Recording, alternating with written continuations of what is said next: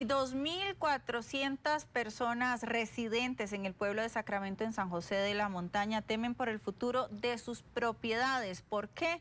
Bueno, por una ley que obliga al MINAE a tomar ciertos terrenos. Vamos a enlazar con nuestro compañero Alfonso Hernández Castro para que él nos cuente más al respecto.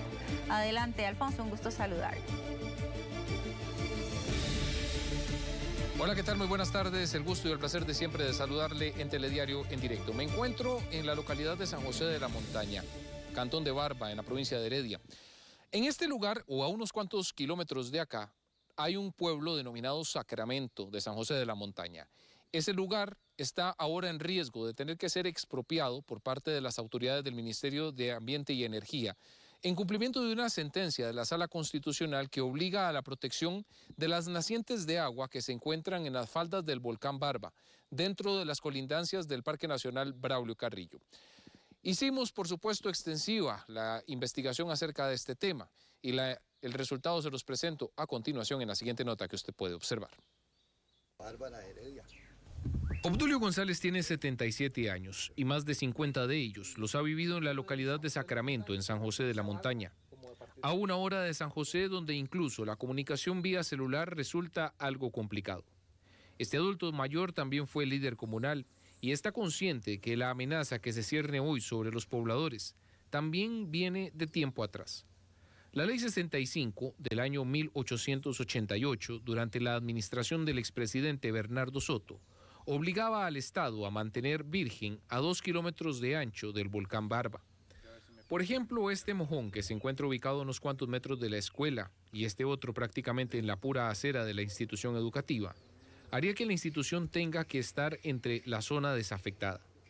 Para don Obdulio, la problemática en su óptica tiene una responsabilidad política en las autoridades municipales de Barba, porque ellos son los que no han establecido con severidad y claridad los límites del cantón.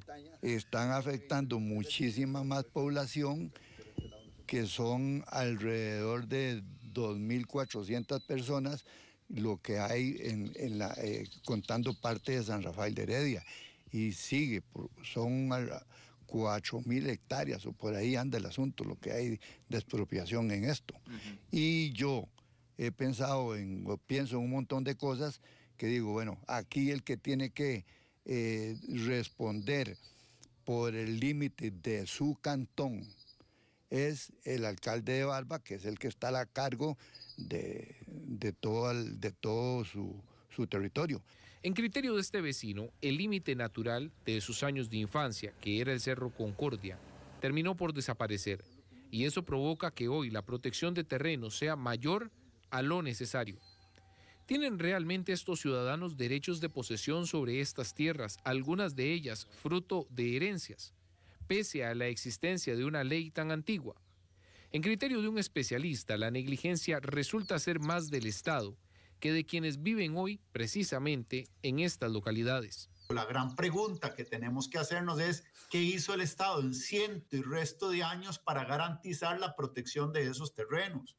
¿Verdad? Entonces, al no hacer eh, efectiva esa protección al haber permitido que personas entraran y se aprovecharan de lo que leyes especiales también los tutela, que su derecho de posesión o su derecho de poder implementar la información posesoria para ser titulada la propiedad, esa negligencia del Estado no puede recaer únicamente en aquella persona, pensemos bien, que en necesidad de su derecho a una, a a una propiedad, a una habitación, eh, se mete a un terreno baldío desocupado.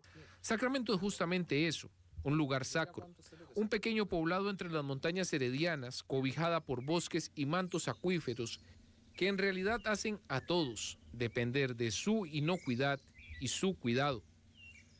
Hoy estos pobladores viven la angustia por saber qué va a ser del que siempre han considerado su hogar. Le informó Alfonso Hernández Castro, Noticias Telediario. Este es un lugar paradisiaco sin lugar a dudas, completamente cargado de naturaleza y donde pues el silencio es prácticamente amo y señor durante una buena parte del día. Incluso la señal celular acá es algo bastante complicado de encontrar. Lo cierto del caso es que todas estas personas, que muchas de ellas pues no quieren referirse en amplitud a lo que vaya a pasar, tienen evidentemente su vida hecha en estos lugares, algunos más de 50 años de vivir acá y en condiciones donde han podido hacer sus emprendimientos de agricultura, de ganadería, en una especie de economía de sobrevivencia, ni siquiera es para explotar o para poder lucrar con esa actividad. Habrá que esperar y por supuesto estamos también con el propósito de eh, eh, ampliar con el ministro de Ambiente sobre cuál va a ser el desencadenamiento de este tema, por cuanto lo que se dice es que la tesis del MINAE se mantiene en tener que sacar a estas personas de estas propiedades para poder preservar los espacios de fuentes de agua potable. La información a esta hora, Telediario en directo continúa con más en el estudio principal.